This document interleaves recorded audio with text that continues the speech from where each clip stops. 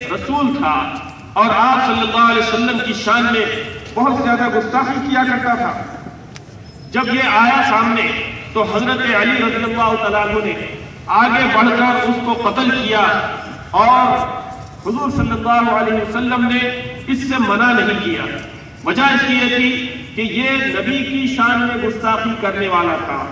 इसी तरह से इसी बदर के मौके पर वो जालिम और गुस्ताख रसूल भी मुसलमानों के कब्जे में आया, जिसको तारीख इस्लाम उकबा बिन अबी मुईद के नाम से याद करती ये वो जालिम था जो नबी सल्लल्लाहु अलैहि वसल्लम की दुश्मनी में बहुत ज़्यादा आगे रहा करता था।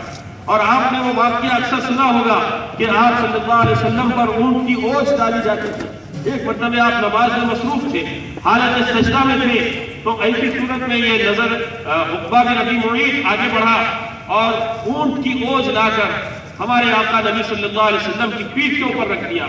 उसके बोझ और तकलीफ़ की वजह से आप सजदे से सर नहीं उठा सके और आपको शदीद तकलीफ़ पहुँची। एक मौके पर आप हरम शरीफ में मसरूफ नमाज़ थे और यही उकबा बिन अबी मुईद आगे बढ़ा। एक चादर ली, उसको गोल करके उसकी रस्सी का जैसे बनाया और आपके गले में डालकर, गोया के फांसी देकर आपको खींचा गया, जिसकी वजह से आपका दम घुटने लगा और आपको शदीद तकलीफ़ पहुँची। ये ऐसा जालिम था जिसने नबी सल्लल्लाहु अलैहि वसल्लम को शदीद तकलीफ़ पहुंचाई। जब ये मुसलमानों के हाथ आया तो हजूर सल्लल्लाहु अलैहि वसल्लम ने हुक्म दिया हज़रत अली रज़ी को कि वो आगे बढ़े और उकबा बिन अबी मोईद को जो है तय तेज करे और उसको कत्ल कर दिया गया। इसी तरह हम देखते हैं कि सन तीन हिजरी में उकमा नामी एक यहूदी शायरा थी ये बड़ी ज़बरदस्त शायरा थी और अपने शेर के ज़रिए से लोगों के दरमियान में नबी करीम सल्लल्लाहु अलैहि वसल्लम की शान में गुस्ताखी और आपकी हज्जो लिखा करती थी। उसको पढ़ पढ़ के लोगों को सुनाया करती थी। इसको भी एक नाबीना सहाबी उमैर बिन अदी रज़ी अल्लाह ने कत्ल किया। हालाँकि ये सहाबी नाबीना थे।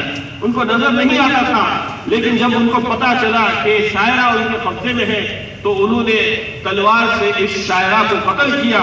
ये है वो अंजाम जो नबी सल्लल्लाहु अलैहि वसल्लम की गुस्ताखी के नतीजे में काफिरों को भुगतना ज़रूरी है।